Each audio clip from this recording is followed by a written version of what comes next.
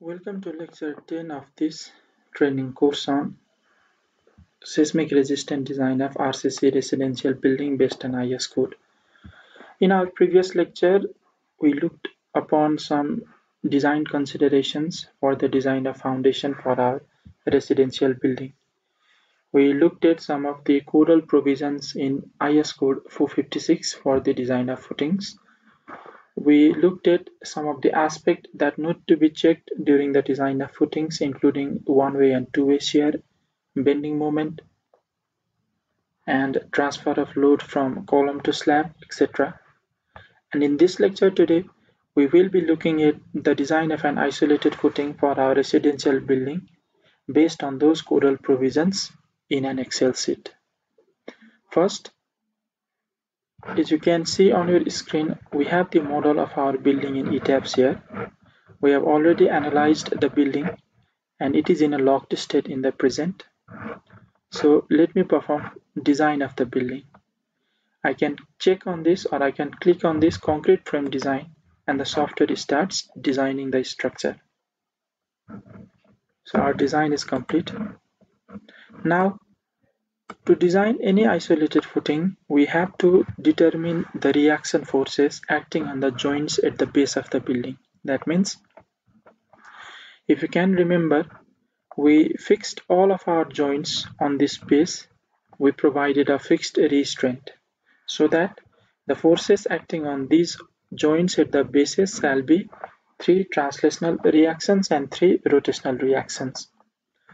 But since it is the case of isolated footing and the value of the rotations at the bases might be negligible or smaller. We are only interested in knowing the vertical reaction forces that are acting on these joints. So to know the value of these reaction forces, you can click on this icon here. This icon says display support spring reactions.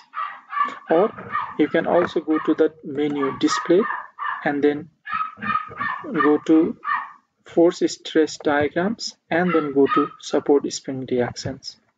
So let's click on this.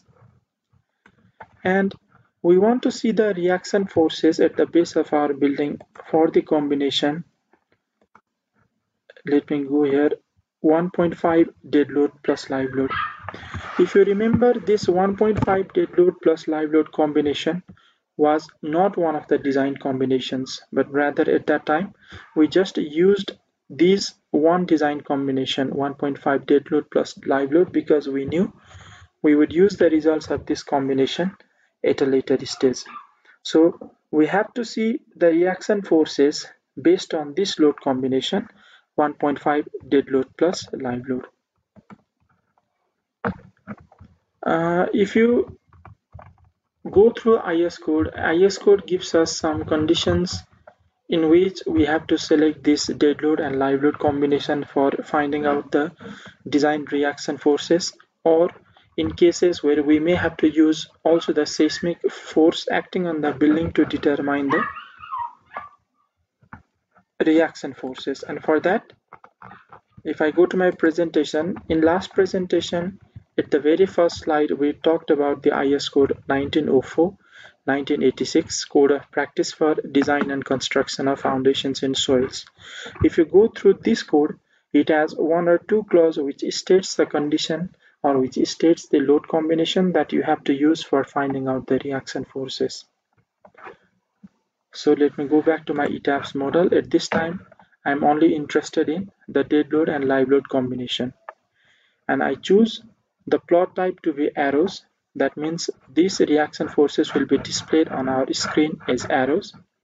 And we want to display results only for vertical reaction forces that is FZ at present we are not interested in moments. So I will click on OK. So now you can see the reaction forces are displayed as arrows and the values are written nearer to those arrows for example, here you see 273.47 kilonewton. Here 470.38 kilonewton. So these all values are the values of base reactions or the design reactions for designing of foundation of this building. If you can see the reaction forces for the columns at the center. Suppose I want to compare this column at B4, this column and another column here at C5. The reaction forces for columns at the center is greater than the reaction forces for the columns at the edges or in the corners. This is because in these columns, the load will be coming from the slabs on all the four sides resting on these columns. So greater design reactions will be obtained for columns in the center or in the middle is compared to the reaction forces in columns at the center or at the edges. So these are all our values of Fz. Now we want to take one value of Fz here and see the design of isolated footing in that case. So I will want to take the value this 577.17 kilonewton because this is the largest reaction force that we are getting for our building. If you hover onto this joint and place your cursor on top of this joint, here you can see the values of all six joint reactions Fx, Fy, Fz. Fx and Fy are very negligible compared to Fz. There is some value of Mx minus 7.2956 kilonewton meter and then My and Mz are negligible. So we would like to take this value of 577.17 kilonewton and design an isolated footing for this case. So take this value, note down this value 577.17 kilonewton and we will now go to our Excel sheet.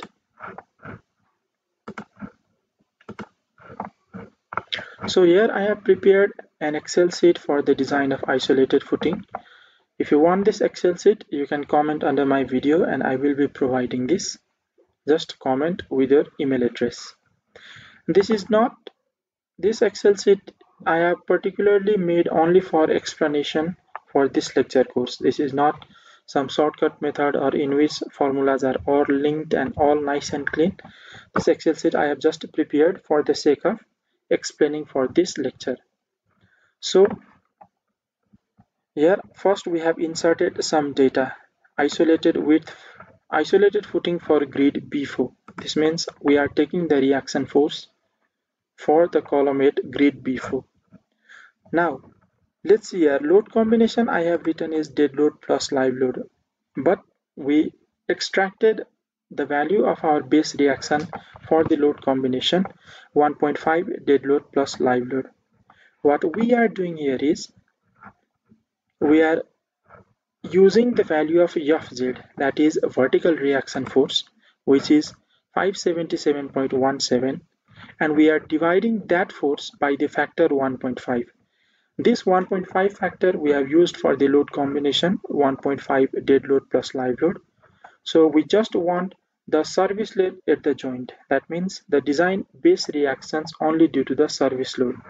So we divided that value of Fz 577.17 by this load factor or this partial safety factor of 1.5 and we got the service load at the joint to be to 384.78 kilonewton.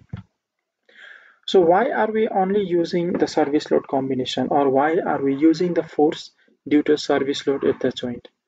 because as you know while determining the safe bearing capacity of our soil in our site already some safety factors some large values of safety factors are already used in determining the safe bearing capacity of our site. So if we use safety factors for both bearing capacity of soil and also some safety factor for the load combination then we are doing an uneconomical design or a very conservative design. We have already used safety factor for bearing capacity of our soil. So we don't want to use those safety factor twice.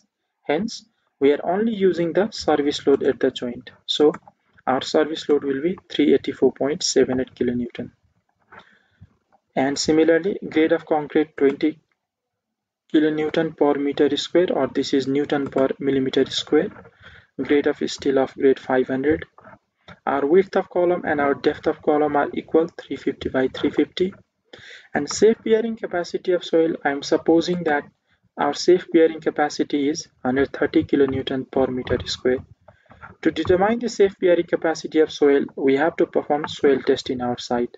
and that soil test gives us the value of bearing capacity. It gives us the value of various bearing capacities at various depth of the soil. And that bearing capacity indicates also indicates the type of foundation that may we that we may use in our site. It may be either isolated footings or it may be a mat foundation or we may also have to construct a deep foundation so this safe bearing capacity we have to take the value from 100 from soil test and we suppose this to be 130 kilonewton per meter square at present. And we also suppose that this safe bearing capacity is located at the depth of 1.5 meter from the ground level. So our depth of footing is 1.5 meter. Now let us assume the weight of footing and backfill.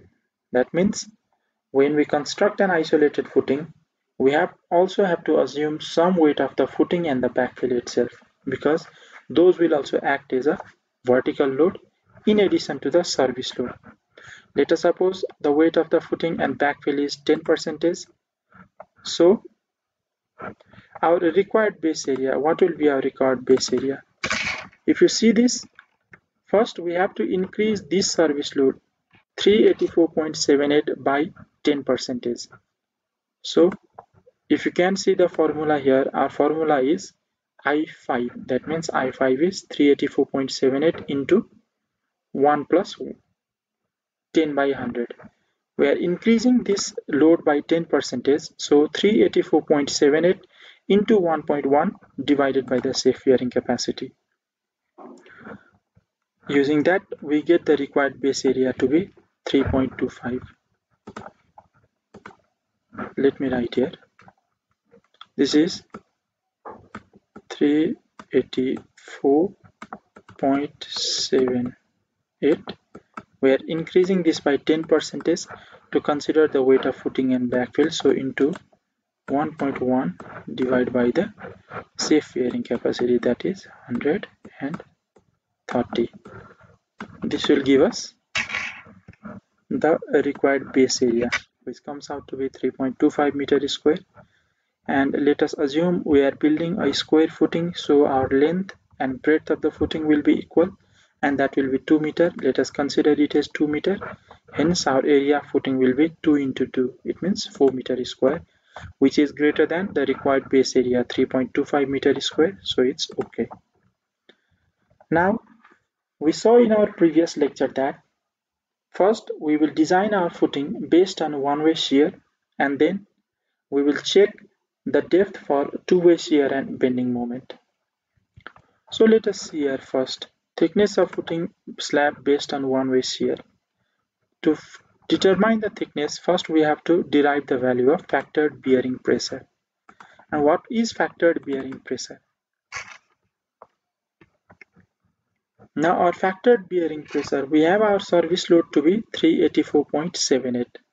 We factor this load first that is 384.78 into 1.5 divided by the area of our footing will give us factored bearing pressure. So our factored bearing pressure is this is bigger let me just set this smaller one. Our factored bearing pressure will be 384.78 into factor of 1.5 this load by area.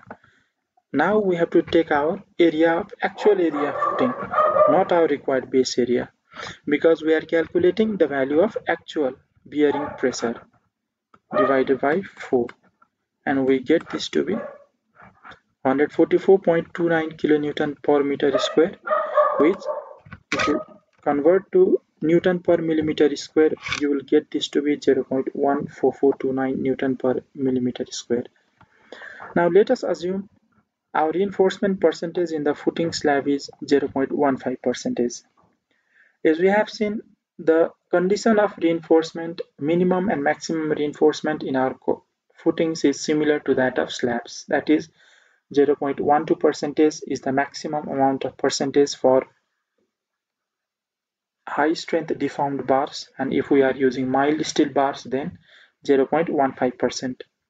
In this case we assume that 0.15% reinforcement in the slab. Now, using this assumed value of reinforcement and our grade of concrete which is M20 grade, we go to this table 19 design shear strength of concrete in IS 456 code. And as you can see here, this table gives us the value of design shear strength of concrete which is tau c in Newton per millimeter square based on the value of percentage of steel and our concrete grade. We have assumed our percentage of steel to be 0.15 percentage. So we have to see this first row. This first row is for percentage of steel less than or equal to 0.15 percentage and our grade of concrete we have to see this third column. So for 0.15 percentage of steel and 20 M20 grade of concrete, our design shear strength of concrete is 0.12 Newton per mm square. This design shear strength of concrete 0.28 Newton per mm square I have taken from this same table here. Now we have our design shear strength of concrete. Now we have to check the shear resistance and shear force in case of one-way shear always we know that our shear resistance should always be greater than the shear force. Now, how do we calculate this shear resistance and this shear force? And then how do we calculate the depth of the section which we have got at the end of this line here, D value. So for that, let me go to my presentation. I will just add one slide here. What we learned in our previous section or in our previous lecture was that if this is our footing and this is our column at the center our critical one-way shear will act at a vertical section or vertical plane which is at a distance of d. d means effective depth of the footing from the face of this column. So if you look in our sectional view at this vertical section we will have the critical value of one-way shear and for this one-way shear the shear force means it is the net upward forces that is coming onto this plane. The one-way shear refers to all the vertical upward forces that is acting on this plane and the shear resistance is provided by the depth of this section. So let's look at this again. For one-way shear condition, the shear force which is acting on this footing is the net upward forces that is coming onto this plane or this section of our footing and that shear force is resisted by the shear resistance that is developed along this vertical section. So if you look at this first what is the shear force? Our shear force is the net upward force coming onto this plane that means our factored bearing pressure which is let us suppose qu we got this value of factored bearing pressure into what is the area?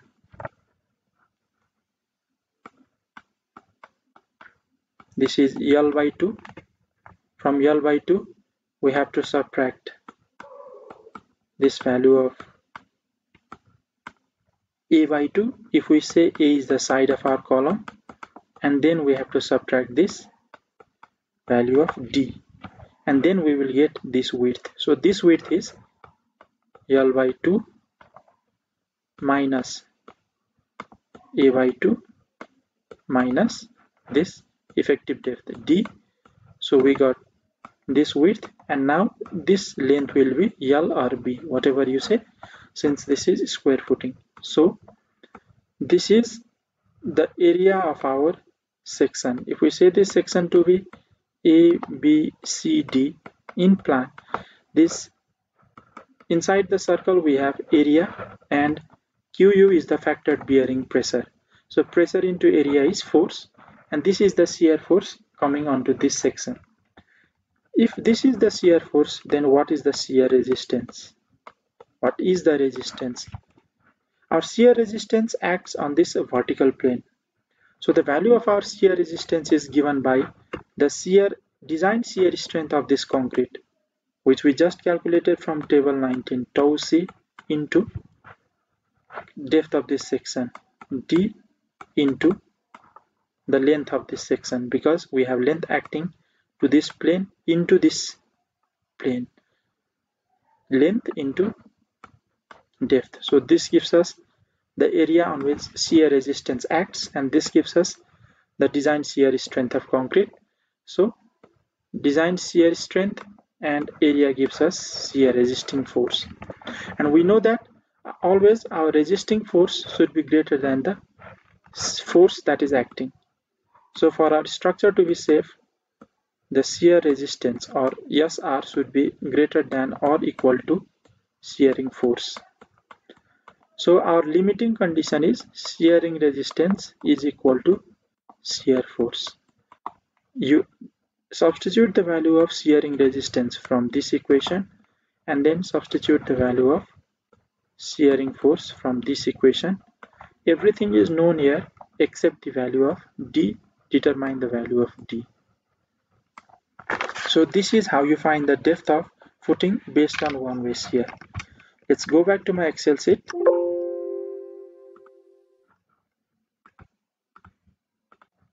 here one way shear resistance should be greater than shear force as I discussed previously the equation, from that equation we got the depth of footing slab to be 280.56 mm from the same equation that we discussed. And remember our value of factored bearing pressure is this 0.14429 Newton per mm square QU and the design shear strength of concrete is 0.28 Newton per mm square. Use these two values in our equation we just discussed. So we got our Effective depth of footing slab to be 280.56 mm. Let us suppose that our total depth of footing slab is 400 mm and our cover is 50 mm and the diameter of bars in footing is 16 mm.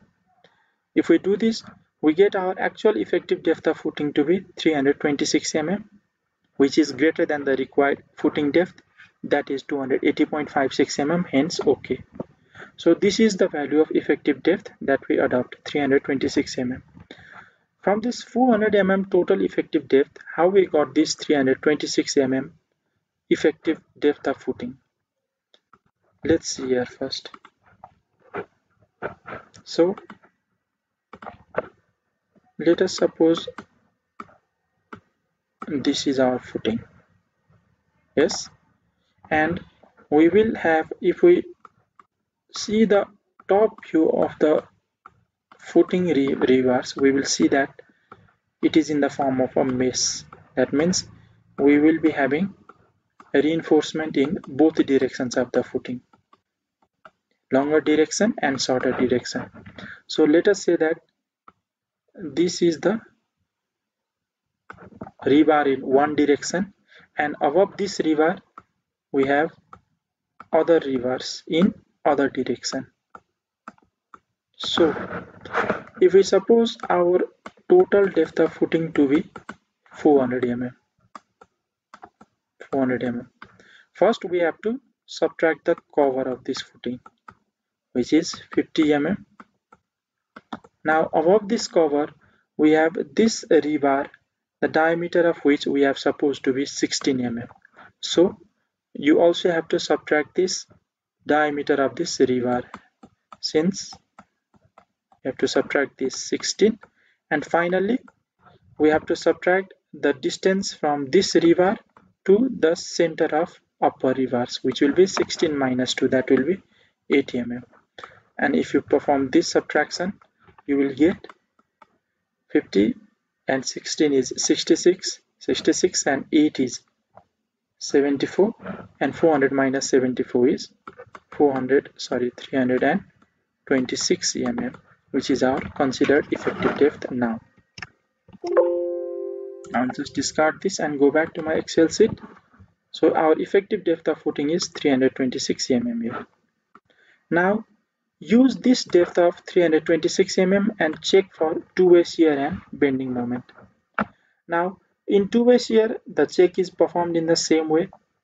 We have to find the shear resistance at the critical section and shear force. In the previous one-way shear what we did was we used the equation shear resistance is greater than shear force and we derived the value of d that is effective depth now we will use this value of d 326 mm and we will check if our shear resistance at the critical section is greater than the shear force or not. We get our shear resistance to be 985 kilonewton and we get our shear force to be 511 kilonewton. Hence it is okay since the resistance is greater than the shear force. Now how we will do this for two-way shear? I will just go in very short because I have already shown a detailed process for one-way shear let's look at your diagram on the right hand side. We have the critical section for shear given for two-way action. So our critical section for shear or our critical perimeter for shear acts on this ABCD plane which is at a distance of dy 2 from the face of the column. So our critical two-way shear acts on this outer area. We find our shear force by allowable bearing pressure into area of this outer area. To find this outer area you can just find the total area of this footing and subtract the inner area. This will be our shear resistance and our shear sorry that will be our shear force. And our shear resistance will be the shear force or the strength force that acts along this critical perimeter along the depth of this section. In one way shear we consider critical plane along one width only or one length only. So we did design shear strength of concrete tau c into depth into length.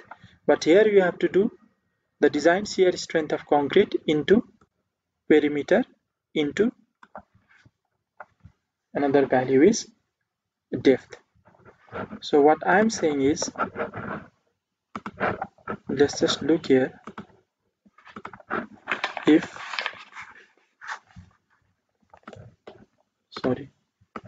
If this is our footing and this is our column this is the critical plane for two-way shear which is at a distance of dy 2 from the face of the column. Since it is our square footing, this critical perimeter will also be a square. So now our shear force will be our shear force will be our shear force for two-way shear will be our allowable bearing pressure into this whole area if we consider L to be length or width of this footing L square minus area of this circle let us say the perimeter of this critical section is C naught which you can find by yourself and C naught square. This will give us shear force while our shear resistance. So how do we calculate shear resistance? If you can remember we saw in our previous lecture that our shear force was to be limited to the value ks into tau cp where what was ks ks was 0.5 plus beta c. Beta c means the ratio of shorter side to longer side of the footing. And this value of ks should not be greater than 1 and then tau cp is 0.25 into root under FCK. So we know the value of Ks now, we know the value of tau Cp. So our shear resistance in the case of two-way shear will be Ks tau Cp which will give us the value of force or which will give us the value of pressure into area and area will be this critical perimeter into depth because two-way shear will be resisted by the depth along all these four sides of this critical plane. So our shear force, critical shear force acts on this outside area and this two-way shear force is resisted by the shear resistance along this critical plane. And if we derive the value of shear resistance to be greater than shear force, because in this we know the value of all the parameters here, we just have to check if the resisting force is greater than shear force or not. If resisting force is greater, then our depth that we obtain from one-way shear is okay. That means one-way shear is the dominant shear force in the case of this footing. Or if the depth is not okay then two-way shear will be dominant and then we have to change the depth. So this is the case for two-way shear. I go back to my excel sheet. I did the same here. I found the shear resistance. I found the shear force.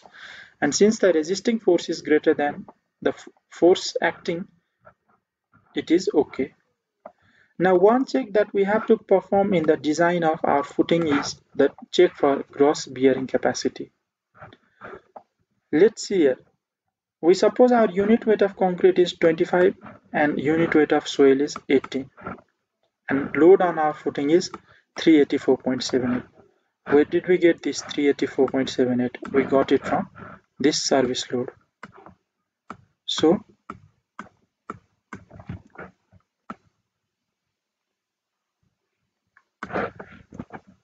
So calculate all the load that is acting. First calculate the weight of footing which is the unit weight of footing into its area into its height. This footing we got is 25 into area of footing that means L into B into total height which is 400 mm. So we got this total load of footing we can calculate the total weight of soil acting on the footing also because we know the depth of footing 1.5 meter. You calculate the total volume of concrete footing and then calculate the total volume of your excavation. And if you subtract the total volume of concrete footing from that excavation portion you get the total volume of soil acting. Multiply that volume by unit weight and you will get the total weight of soil.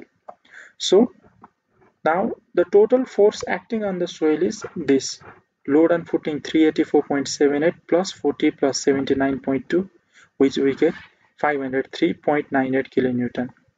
And if you divide this 503.98 kilonewton by the area of our footing this is what we get as gross bearing capacity. And this gross bearing capacity should be less than the safe bearing capacity. Because the gross load that is coming on our footing or coming on the soil is under 25.99 kilonewton per meter square. But the safe bearing capacity is 130 kilonewton per meter square. So it's okay that our gross load coming onto the soil can be resisted by the safe bearing capacity of the soil. We have checked for gross bearing capacity. Now we want to use that depth of our footing and check for bending moment to check for bending moment, it's the same procedure. We have to determine the area of steel in one direction as it is a square footing. We consider the lower effective depth which is 326 mm. In our case, since it is a square footing, our effective depth is the same. We don't have to check which is lower or which is higher. This is our effective area or effective depth. Using this effective depth, we calculate the moment and you know that in the previous lecture we saw the moment is critical at the face of the column itself. And now you have to calculate the moment. So how do you calculate this moment value? Mu is qu that is bearing pressure into the width of the footing divided by 8 into the width of the footing b minus the side of the column A whole square. Use this formula. QU that means our safe our bearing pressure that we obtained that we have been using in the calculation of shear force for both one way and two way shear into width of our footing divided by 8 into the width of our footing minus the side of our square column this is 350 mm whole square using this formula you get the moment value to be 392.82 kilonewton meter. So mu is 392 and mu by bd square is 1.84 newton per mm square. Just divide this by b means the width and d means the effective depth square. You get this to be 1.84 newton per mm square. And then go to table 2 of SP16 in table 2 of SP16 if you look here we have one column for mu by bd square same for here and we are doing this for FCK 20 Newton per mm square that is M20 grade concrete using the value of mu by bd square and the grade of steel that is given here we determine the value of percentage of steel for singly reinforced section. Since we saw that in the previous lecture our isolated footings are designed as single reinforced or under reinforced. We derive the value of the percentage of steel from here. So mu by bd square 1.84. What we have is FCK is 20 and FY is 500 so which do we have to see if you see here we have for 1 mu by bd square m 1 value 0.245 and for mu by bd square value 2.22 we have 0.602 for 500 grade steel so just interpolate between these two values 0.245 and 0.602 we get that to be 0.54 percentage. So 0.54 percentage of steel means our area of steel is 3520.8 mm square. Just calculate the number of steel that you want to provide and also the diameter of the steel and using that you can then calculate the total area of steel. I hope you can do this. Now this total area of steel that we have used is greater than the area of steel that we have to use so it's okay. So this is how we calculate First, how we check for bending moment and using this bending moment value, we calculate the percentage of steel. Providing slope in the footing slab, I won't be looking at the slope because for now we are only using, only designing a rectangular footing. We haven't provided any slope. So this is our rectangular footing that we have designed. We have got the value of total depth which we took as 400 mm we have got the value of effective depth. We know we have to use what amount of steel. That is we have to use 18 number of 16 dia bars on both sides. So in this way you can do the drawing part.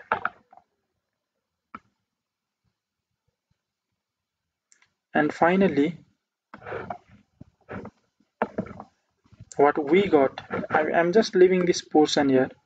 How we provide slope in the footing slab and Based on that slope, we revise the depth of the footing and then we revise the area of steel also.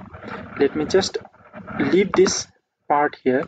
We can discuss or we may discuss this part somewhere in the future, but not today. Finally, we got our design details to be length of footing, breadth of footing, reinforcement, and spacing of rebars. So this is the our final design details. For this spacing of rebars, I did not discuss today, but in the previous lecture, I have also discussed the condition for spacing of rebars. If you remember, our spacing of rebars should be, can you remember? Let me just go to my presentation and let me find it.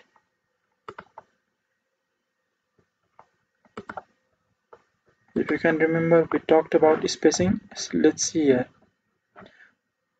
The horizontal distance between parallel main reinforcement bars shall not be more than three times the effective depth of solid slab or 300 mm whichever is smaller. So what we have to do is find three times the effective depth of our slab and 300 mm. And whichever value comes smaller that spacing of reinforcement should not be exceeded.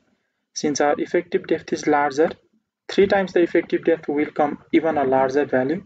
So our spacing should not be greater than 300 mm.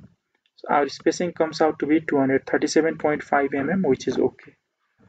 In this way you can calculate the spacing also. And for practical purposes for uh, for easy construction maneuvers you can just change this value. You can increase this value to some near whole number or you can decrease this value to some near whole number. But it should not be greater than 300 mm in any case. So in this way we get the design details for our isolated footing also. This brings us to the end of the design for footing. Uh, we will continue with our design classes in our next lectures and we will most probably look at the design of reinforced concrete slab.